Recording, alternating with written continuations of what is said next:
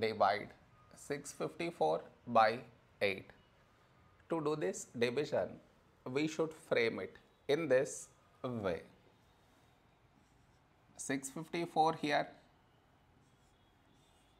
8 here. This is your step 1. Next, here we have 6, here 8. 6 smaller than 8. So we should take two numbers 65. A number close to 65 in 8 table is 8 8s 64. Now we should subtract, we get 1. After this, bring down the beside number.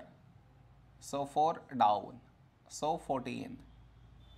A number close to 14 in 8 table is 8 ones 8. Now we subtract, we get 6. After this, no more numbers to bring it down. So what we do is, we put dot, take 0. So 60. A number close to 60 in 8 table is 8 sevens 56. Now we subtract, we get 4. After this, we already have the decimal, so directly take 0, so 40. When do we get 40?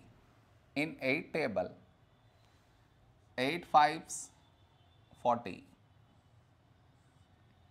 Now we subtract, we get 0. Here we got remainder 0. So this is our quotient